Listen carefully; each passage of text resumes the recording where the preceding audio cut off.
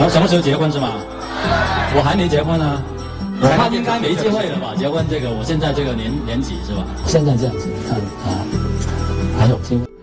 周星驰三十岁不着急结婚，年轻不知爱情香；五十岁却思想转变了，觉得当年没有重视感情，错过了那个他。曾经在中国电影喜剧之王数据发布会上，撒贝宁逼问周星驰：“你何时结婚？”对于这个问题，星爷沉默了，支吾了一阵之后，十分无奈地表示：“我现在这个年纪应该没有机会了吧？”从星爷伤感的语气和眼神中可以看得出来，五十多岁的他还是很渴望爱情的。他觉得自己当时没有珍惜感情，如果还能重来，他是不会让自己那么忙了。但是爱情既然已经错过了，再后悔也是于事无补了。时间回到二十几年前，三十多岁的星星爷。面对同样的问题，态度却完全不一样。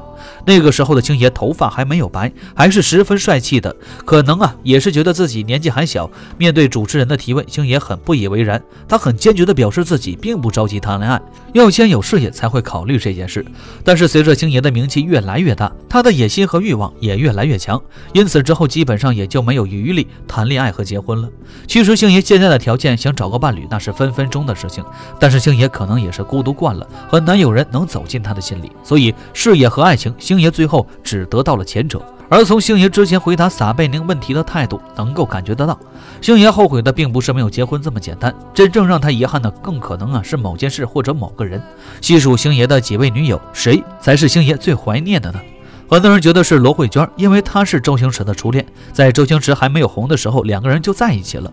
恋爱期间，周星驰对她呀也是十分的体贴，看得出来是动了真心的。但是这段恋情坚持了四年之后，还是结束了。后来罗慧娟也因为癌症而去世了。星爷是个重感情的人，加上是星爷的初恋，罗慧娟很有可能就是那个他。不过也有人觉得，如果论星爷最爱的女人，恐怕还要数朱茵的。朱茵是九十年代香港娱乐圈中的顶级性感女星，颜值在星爷的一众女友。中啊，当之无愧的第一，甚至当时还有传言称，朱茵其实是星爷和罗慧之间的第三者。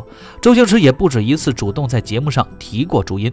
曾有网友爆料，周星驰终身不娶的原因就是朱茵，事情总是有迷人的相似。